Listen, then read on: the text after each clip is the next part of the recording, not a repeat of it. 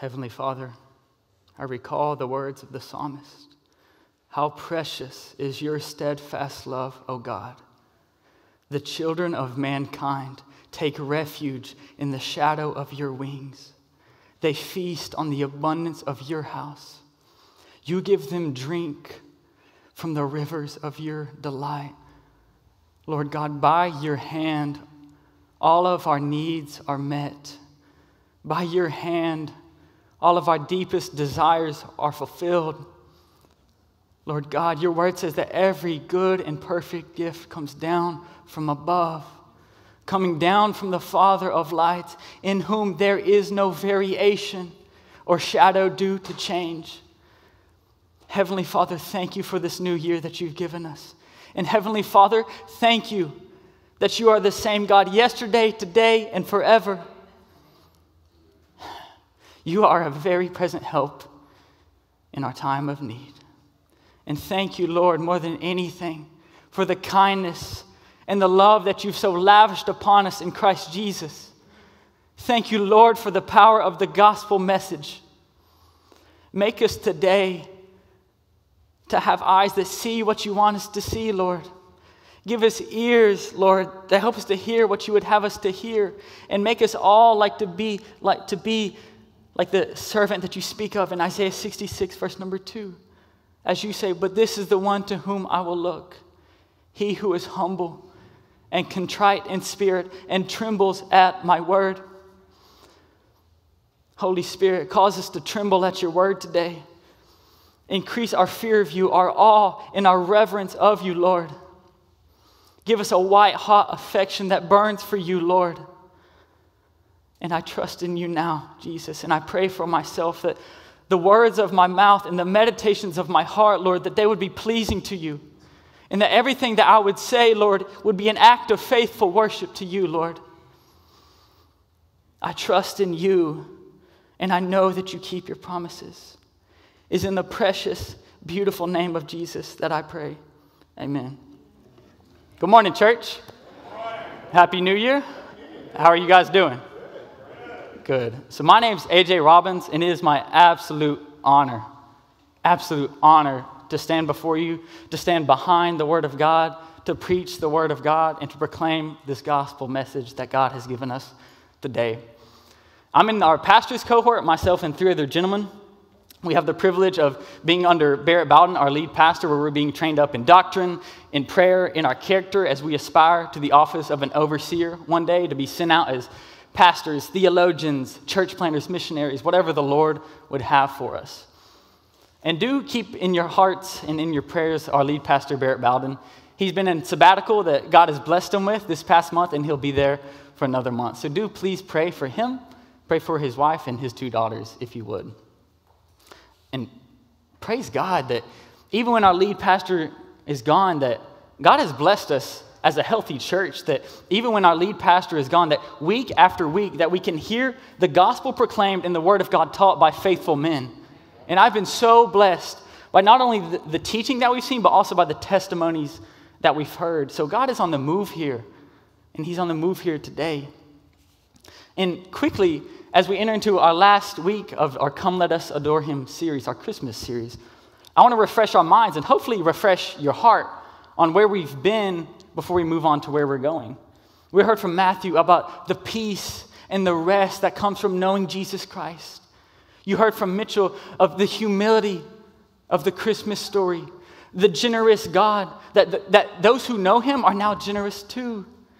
You heard from John Caleb the hope that we have in Christ and the anticipation that the, the followers of Christ have, not only as we look back to his first coming, but the anticipation that he will come again one day as Lord and as King.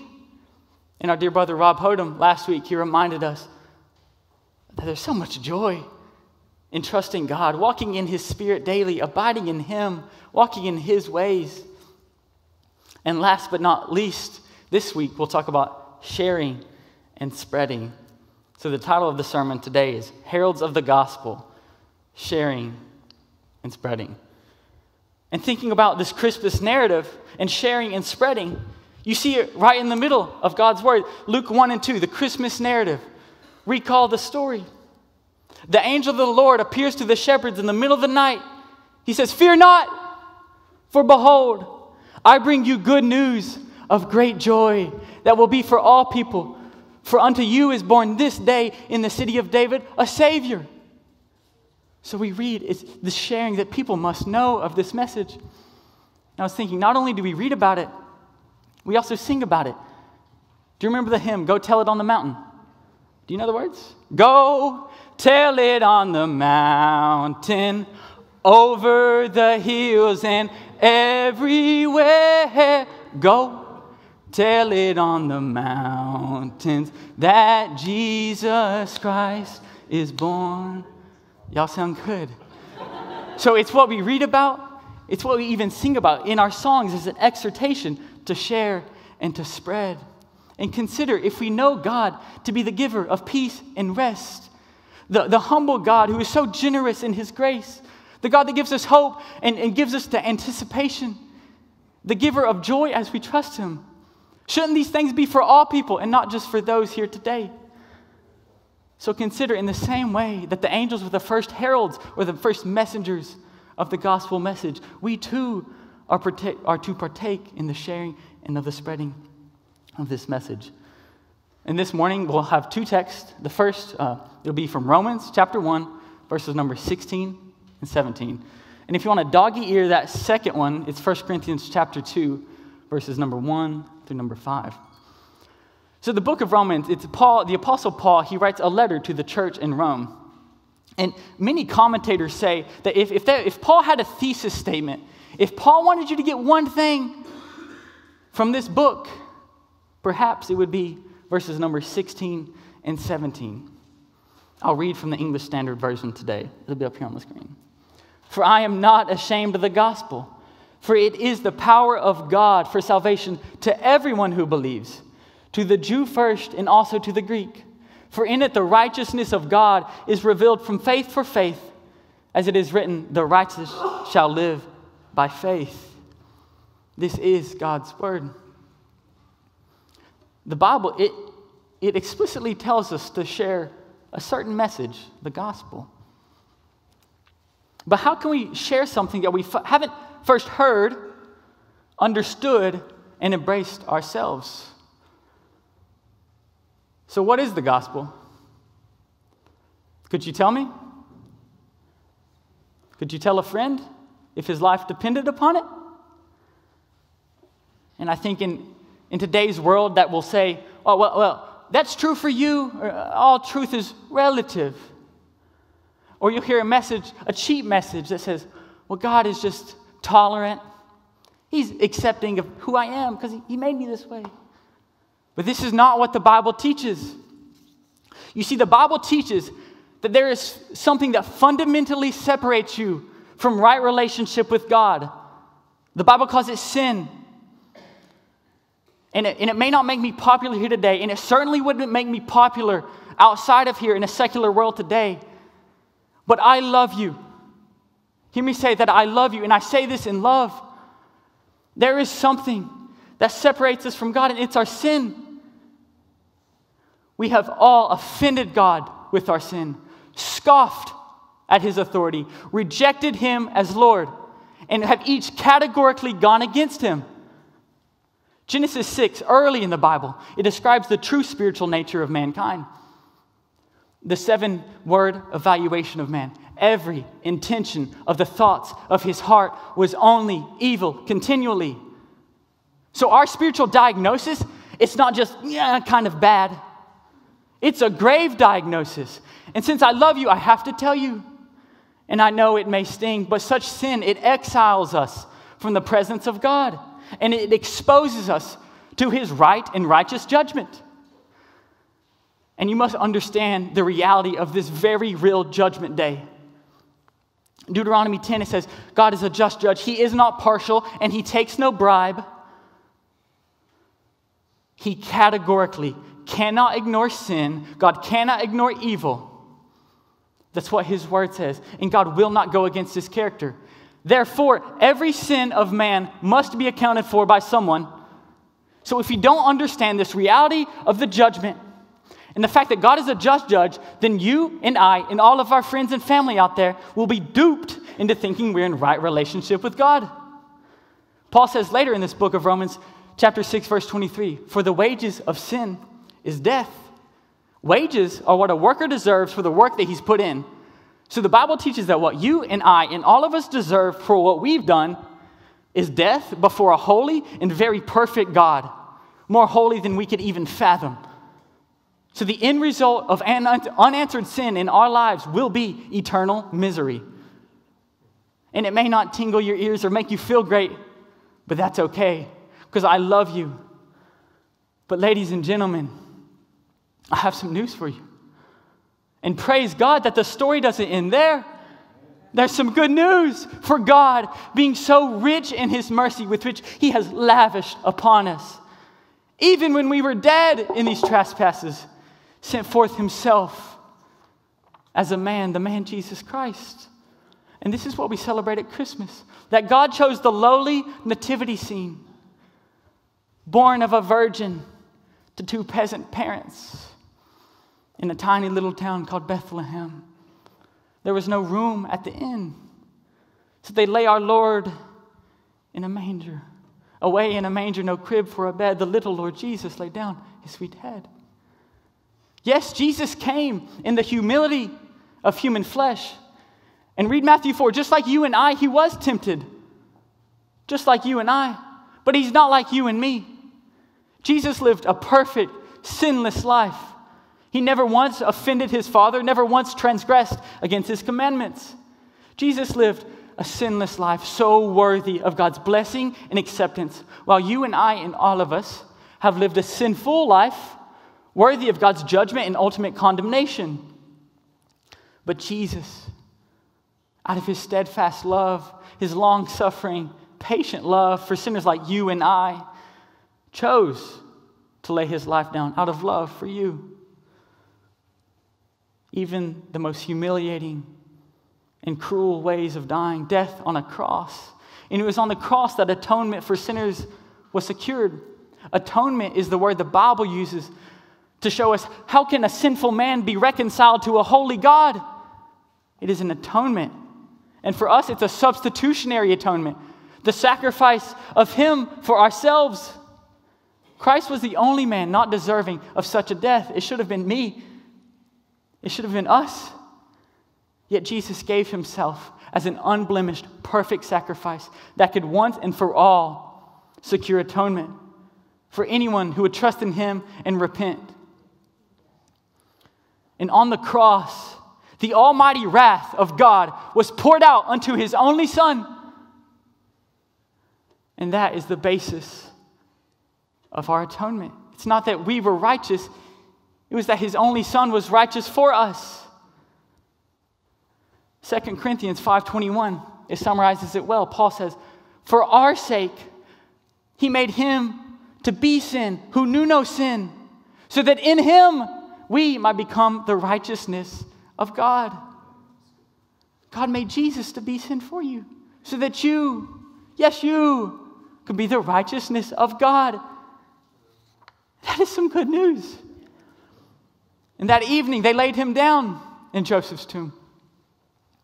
One night, he lay there. Two nights, he laid there. But on the third, at the break of dawn, Jesus rose from the grave. Showing that not only did he defeat sin on the cross, he also defeats death in his resurrection. Praise God. And not only does this good news free us from the eternal consequences that we deserve, there's also a promise of his indwelling Holy Spirit in you. The presence of God himself comes to live in those who follow him. And it's the Spirit of the living God who will bring forth fruit in your life of love, joy, peace. The things our hearts so long for, but in this world are almost always nearly lacking. And upon faith in the gospel, God restores us to enjoy Him and delight in Him as He originally intended. And you'll start to say things like Psalm 42 as the deer pants for the water, So my soul, O Lord, pants for you. Or you'll say things like Psalm 16:11, you make known to me the path of life. In your presence there is fullness of joy. And at your right hand are pleasures forevermore. All the deepest desires of your heart will be fulfilled in Christ. And look at my eyes, look at me. Your decision about the gospel message is single handedly the most important decision you'll ever make. There's nothing more important, there's nothing more urgent. And I'll say it again for clarity your decision about Jesus and this gospel message is the most important thing in your life. And I got to tell you guys, it's not just a non specific, fact based belief in the fact that Jesus died on the cross in the same way that you may believe the history books. But you're not changed by that kind of belief. But the reality is, it is an act of God by His Holy Spirit to give you a new heart of belief, belief, deep rooted belief as you hear the words of the gospel. Romans 10 says faith comes through hearing and hearing by the word of Christ. And the fruit or the effect of the gospel message is faith and repentance. And faith and repentance can only be brought about by the convincing work of the Holy Spirit. Aspiration, resolution, morality, religiosity are no substitutes for faith. Faith can only be brought about by the convincing work of the Holy Spirit in your heart. The reality is that God, before God moves us by His Spirit, we're just blind to what He's doing, deaf to His speech. But the Spirit of God moves during the hearing of the gospel. A regeneration. It's what Jesus speaks of to Nicodemus in John chapter 3. He says, You must be born again. And it's God that gives us this new heart. It's God that saves because it's God that gives faith. Everything in this message is a free gift from God Himself out of his sovereign grace. And not only does right response to the gospel involve faith, it also involves repentance. Acts 13 says, God now commands all men everywhere to repent. So, real conversion doesn't just involve saying we're sorry. Yes, it does involve asking for forgiveness. But it goes further into a denial of self as the little g God of your life. And real repentance says, Lord, I now submit to you, the one true God, as King and Lord of my life, both publicly and privately. So if there's not been a conscious, very real moment in your life where you've turned away from sin and yourself and those around you have noticed a change in your demeanor towards godliness, then I would consider today, am I truly trusting Jesus as Lord? Mere credence in words without lasting faith do not save. Mere remorse without repentance does not save.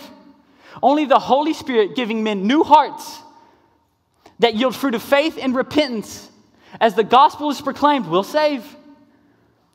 And there's an invitation for you today to have this new heart I speak of, to be saved.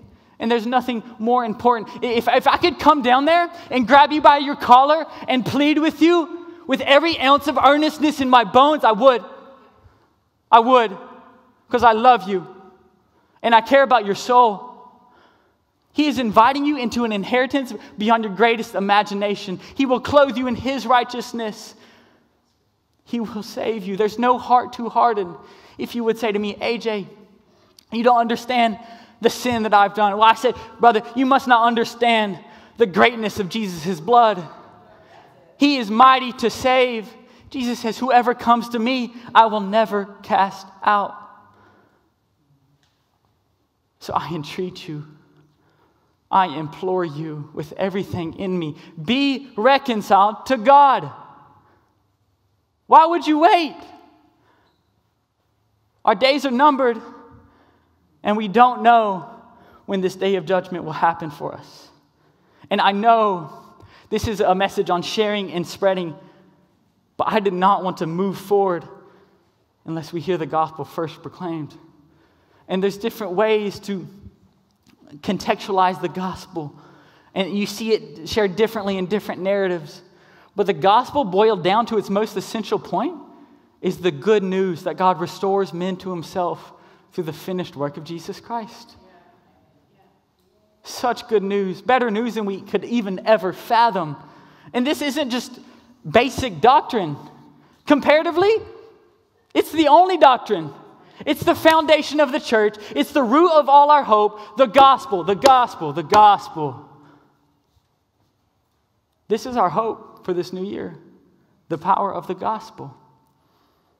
And if we don't first realize its power, then we'll welcome in 2023 and be at the same place. It is the power of the gospel that saves. The Bible describes man's sharing of this gospel message as evangelism. So I'll make two points on evangelism today. And the first is this there is both duty and privilege in evangelism. So we have established that the giving of faith and salvation is only by sovereign God giving us a free gift of grace. However, evangelism is man's work that he gives to them. And we know in Matthew 28, Jesus gives the Great Commission. Jesus says, All authority in heaven and on earth has been given to me. Go therefore and make disciples. So the Lord commands it. But I want to qualify this word duty before we fall into legalism. Acts 17 says, God is not served by human hands as though he needed anything. So we don't, we don't share this gospel to feel good about ourselves because we only feel good because Jesus says so and he's redeemed us. And we, we don't share it to accumulate reputation and spiritual good works so that others would look upon us. We do it because the Lord says so. And we ultimately know that the chief end of man is to glorify God. And God is glorified when men obey his word. So, as such, there is duty in evangelism because God's word says so. And, ladies and gentlemen, that should be enough for us to respond with hearts of earnestness and urgency to go and share this message. And I was thinking, not only that, but in Matthew 22, Jesus says, the second greatest commandment love your neighbor as yourself. And I can think of no greater act of love than for me to share this message that could free my neighbor from sin, bondage, and condemnation than to share this gospel message with him. So if we love God and are ultimately concerned with his glory and his commands to evangelize and also to love our neighbor, then we must respond obediently. And we must see it as an individual and corporate duty to go and share this gospel. And if you remember John 15, Jesus is, is speaking to his disciples. He's speaking about the things that he's commanded to them. He says, I've spoken to you these things, that my joy may be in you, that your joy may be full. So, as such, there's privilege in evangelism. And I want you to see that in, in God's ways, life is just better. All of his commands are yes for his glory, but also for our good and our fullness of life. And in my life, there's nothing more special, no days that were ever better than when God uses me to proclaim this message. In the same way that, that God used Andrew to share to Simon Peter, the same way that God used Nathan or Philip to proclaim to Nathaniel, in the same way that God used Paul to proclaim it to Onesimus. God has put somebody in your life to share this with. He's done it, yes, for His glory, but also for your fullness of life. There's something so unique about responding to this call to evangelism. And all of our sharing is only from a place of our receiving. Recall the words of David in Psalm 23 My cup overflows. And in my life, when I'm constantly reminding myself of God's goodness through his gospel message, I cannot help but share. And there's nothing more fulfilling as an act of worship than to proclaim his goodness about Jesus Christ and what he's done. So it is such a privilege, an honor, and a joy to proclaim this message, to be a light bearer to a darkened world. There's both duty and privilege in evangelism. For my second point, we'll read this 1 Corinthians chapter 2 text. Paul writes this to the church in Corinth. And to put it shortly, this is how he describes his evangelism while he was there. Paul writes, And I, when I came to you, brothers, did not come proclaiming the testimony of God in lofty speech or wisdom, for I decided to know nothing among you except Jesus Christ and Him crucified. And I was with you in weakness and in fear and much trembling. And my speech and my message were not in the plausible words of human wisdom, but in demonstration of the Spirit and of power, so that your faith might not rest in the wisdom of men, but in the power of God. So we see Paul wasn't so concerned about being a gifted orator or coming up with this cunning analogy or having a calculated apologetic argument to appeal to the thinkers of the day. In his own estimation, he wasn't the world's wisest man, not some extravagant moralist or philosopher. According to Paul, he was simply Christ's herald.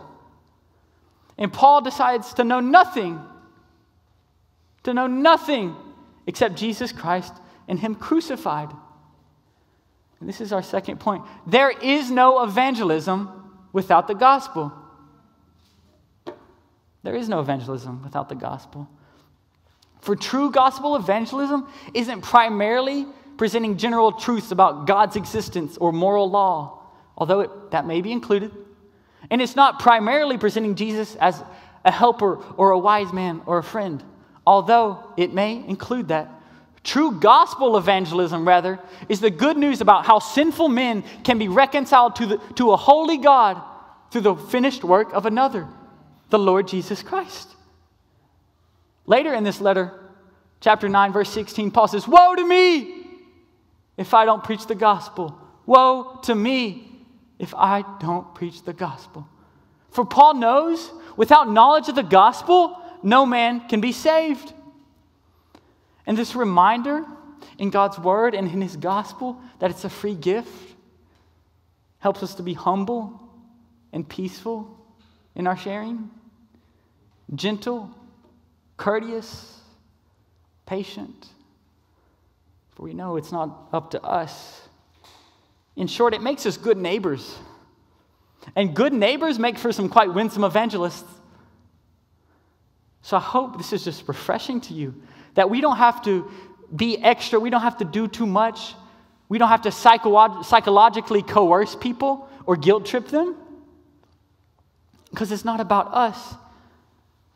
And in my life, in my former days, especially in undergrad, I would concern myself with oh, what, what, what's a dynamic question that I can come up with to spark gospel conversation? Or what's, what's a, a diagram that I can draw on a napkin at the cafeteria and explain the gospel. And I'm not saying we shouldn't be strategic with our evangelism or evaluate its fruitful, fruitfulness. It's not what I'm saying. But what I am saying, evangelism is not defined institutionally, as in what we do or how we do it. Rather, gospel evangelism is defined by the message in which you share. It's defined theologically according to what you're saying the gospel. So it's not about the mechanism through which we share it. Because I see a lot of people in our church that walk in this daily, but it's different. To some people, it's one on one mentorship. Some of you, you open your house with great hospitality and share. For some of us, it's campus outreach.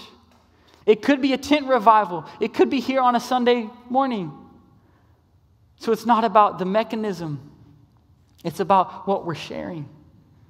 And when Paul says, I decided to know nothing among you except Jesus Christ and Him crucified, I hope that's refreshing because it's good news. You don't have to exegete the whole Old Testament to be able to trust in the gospel and share it. You don't have to know all the words of soteriology and expiation and propitiation to be able to share the gospel.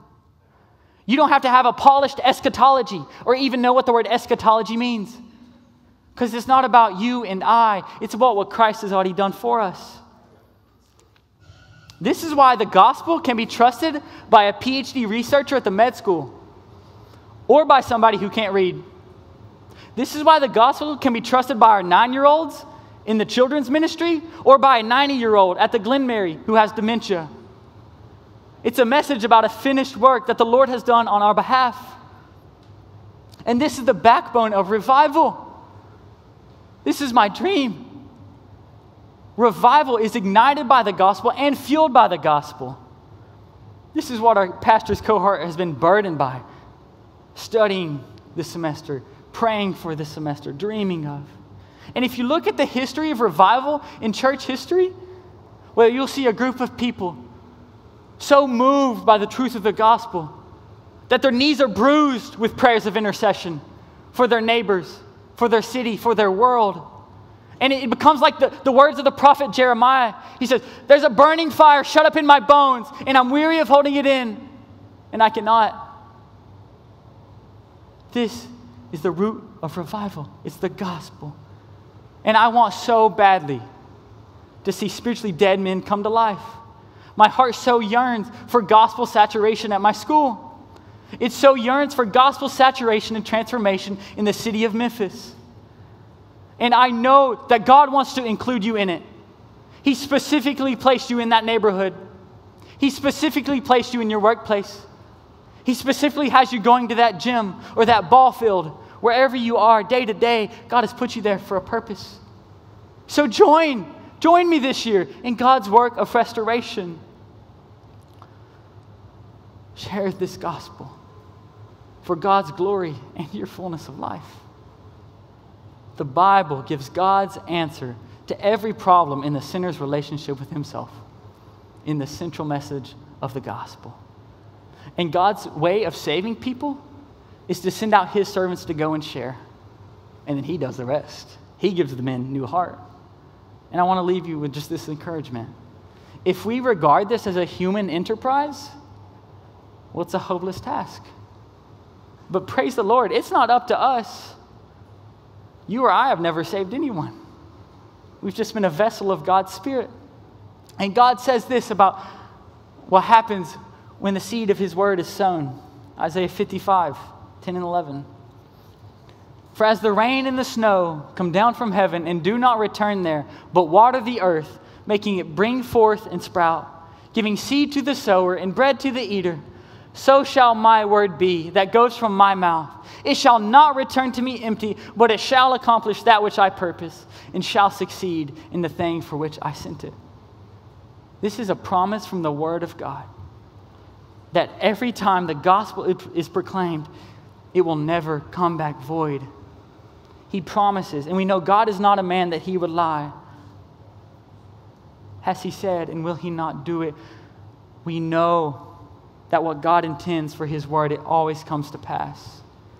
And that every time the finished work of Christ is proclaimed, Satan trembles, heaven rejoices, and God is glorified.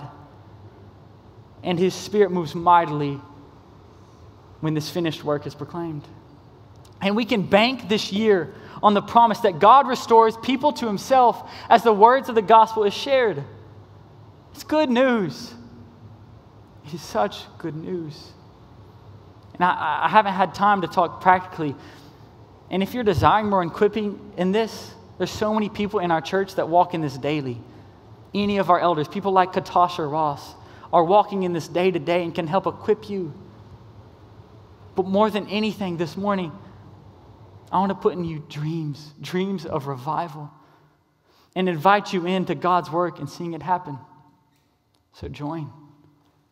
Join us as we share the words of this gospel to all those who need to hear.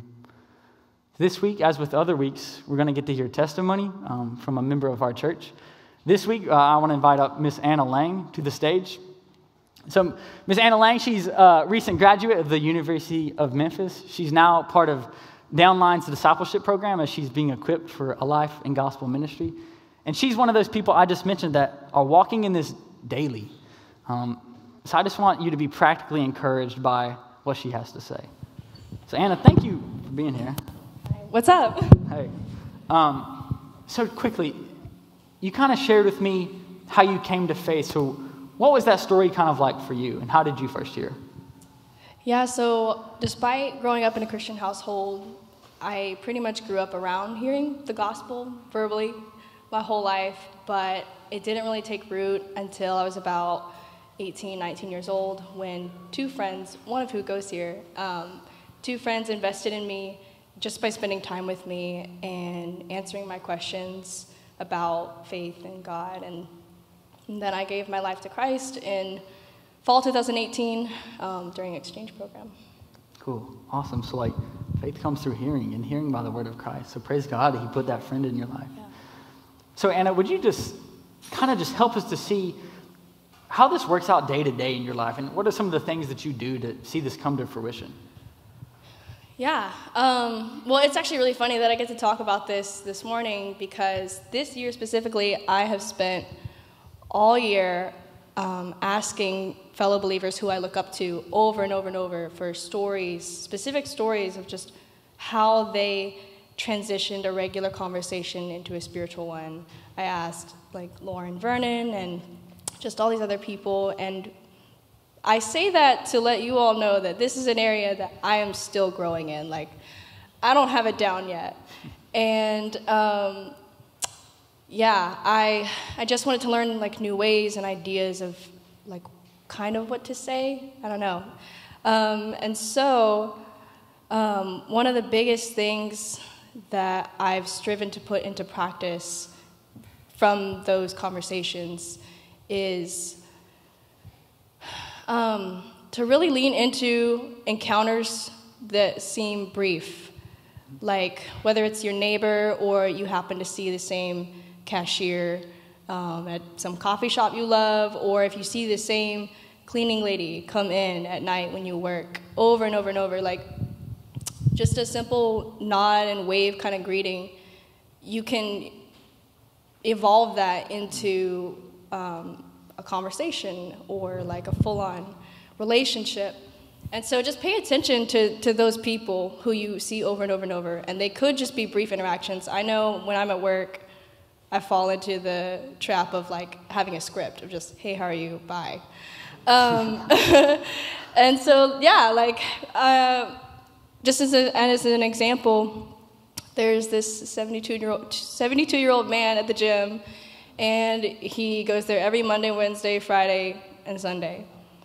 And, you know, just brief nods have evolved into me asking, like, oh, are your finches done molting yet?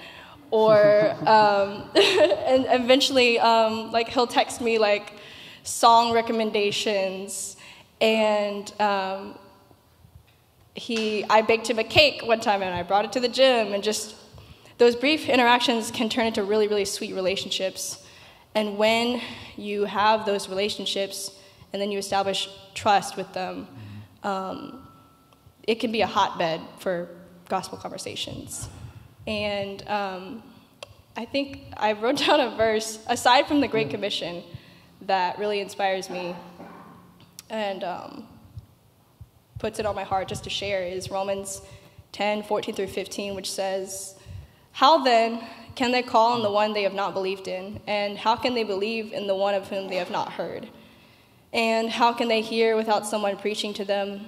And how can anyone preach unless they're sent? As it is written, How beautiful are the feet of those who bring good news. Um, and so I'm all too aware of my lack of confidence in this area. Just, it's hard, it's intimidating, it's scary. And just the number one thing I have to do is pray, just get on my knees and talk yeah. to God about it. Um, just because I know I don't have the words. I don't have the words. I don't have the perfect theological argument to like pitch to them to make them hop aboard the Jesus train. I just can't. and so, yeah, I have to pray. Like, I'll start my day off like, God, I just pray that you would give me one, arrange one divine appointment for the day. I don't care where it is, who it is, just one thing where um, I can share something, some, something of my faith, something about God, something about the gospel, anything. Mm-hmm. Um, and so I pray that. And even when I'm about to hang out with like a friend, I mean, you know, the, the Great Commission is go, therefore, and we go places every day. Like I go to work at the Y, I go to the gym, I go to the grocery store, I go hang out with friends. And so whenever I hang out with someone who I know isn't a believer, I'll pray, like, somehow, God, just make a space mm-hmm. in the conversation. Um, and I also have to pray that I don't get silenced by fear of man and fear of rejection. I have to pray that so hard because there's so many times where there's like a perfect opportunity that is just laid in my lap, and I get scared. I get cold feet last Yeah. minute, and it, it sucks. Um, and so I have to pray not only for the opportunity to arise, but for the courage to take it. Yeah. And um, yeah, I think, and just as a one last little example, there's a Bible study that I'm helping out with for Global Friends, um, and we work with international students. And um, this one girl, she's from Bangladesh. We were talking one night, and she just said um, that she doesn't feel peace not knowing who God is. She know that there's a God, she just doesn't know which one He is. And she said, and she pointed to her Bible, and she was like, "I think it's this one. Um, I just don't, I don't have the faith, but I, I kind of want to." And so we had an amazing conversation that night. And I was able to get really raw, honest answers from her just by asking very simple questions and then listening fully to what she had to say and just inviting her to share, inviting her to share, and not me like pitching, this is what you need to believe. Um, and I just sat there and listened. And um, yeah, I did get to share the gospel with her that night just by nodding and asking, like, what do you think about this? And oh, like, tell me more about why you believe that. And just, she just felt really safe to be vulnerable with me. And so that's super important is um, people know when you're trying to sell them something. And um, you can't treat this like, like how you would anything else. Um, you have to build rapport with them. You have to be intentional. You have to give them your time, um, and not just drop the G and dip. Like you can't do that, or you can, and that does work sometimes. But yeah, that's all I have there. That's awesome. Praise God. I don't know if I can add more to that. But, um, so, lastly, Anna, do you have any just specific encouragements or an exhortation for us as the church in this new year as we go out and just seek to do this? Um, yeah, if you feel like you don't, you're lacking in your abilities to do this, then you would be correct. Um, you don't, and you can't do it on your own strength. So, you know, um, you have to remember that God is the one who prepares hearts. Yeah. He is the one who changes them, and it's not it's not your pitch, your PowerPoint worthy argument that gets them. God is the one who Yeah. waters the seed and changes it. So that's a huge relief. Honestly, that's a huge relief to people like me um, because you could butcher the gospel. You could butcher sharing it. You really could. And you could say some crazy disorder type mess thing, and God could still use that. Yeah. Apparently, um, He could still use that, which is crazy. And I've seen it happen before, where I was like, I don't know what I just said, but I don't. I think that was like heretical, whatever I just said. but God, just in seeing your heart behind it, He's like, yeah, we can we could tie up those ends. um, and so that's encouraging. That's encouraging. Um, is that He's sovereign and you are not big enough to screw up His plan of redemption in someone else's life. Good. Amen. Um, Amen. And then exhortation uh, for you guys is just a reminder that global missions and having a heart for the nations isn't an elective in the church. And I love that ICC just really shows their heart, and we have Go Month coming up. But um, yeah, there's you don't have to get on a plane to be a missionary. You can. Our church calls us to live with a missional mindset every day. Yeah. Every day. And um, yeah, we have thousands, thousands of internationals right here in Memphis, Tennessee, living on your street, living in the same apartment complex as you do. And you would be surprised just how receptive and willing they are. Like they just want to be known. And the biggest thing you can do is invite them into your life, give them your time, and um, really care for them, not just like a project, but really see them as, as a real friend in your life. Um, and yeah, that's all I got. That's awesome. Praise God, Anna. Would y'all give her a round of applause?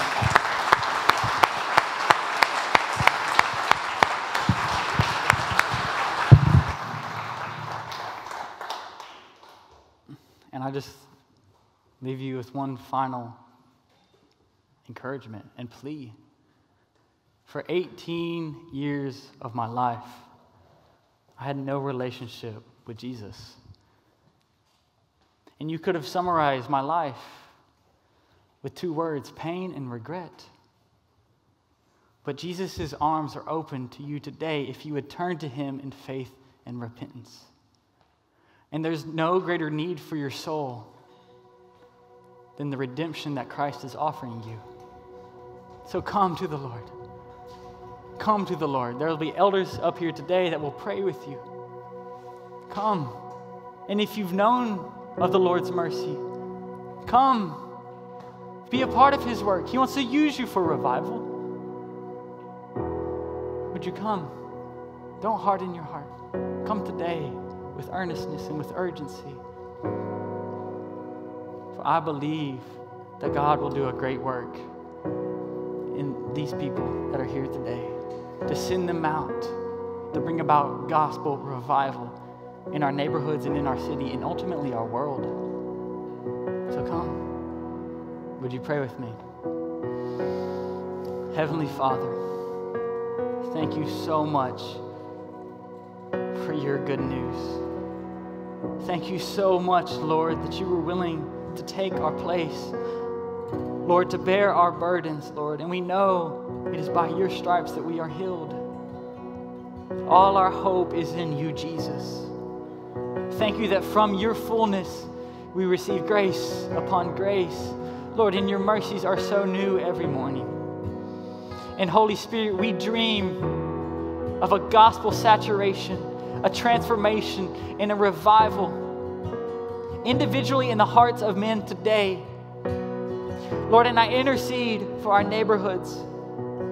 I intercede for the city of Memphis. And I intercede for the world that doesn't know you. Lord, would you save them? By your sovereign grace, let it be your will that you would save them for your name's sake, God, and for your glory. And do it through these people, Lord. From their lips, let, the, let them declare good news of Jesus Christ and Him crucified, our risen Lord and our risen Savior.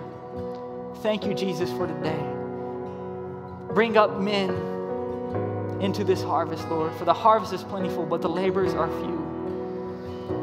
We trust in you, Jesus, and we worship you now in spirit and in truth, Lord. It's in the precious name of Jesus I pray.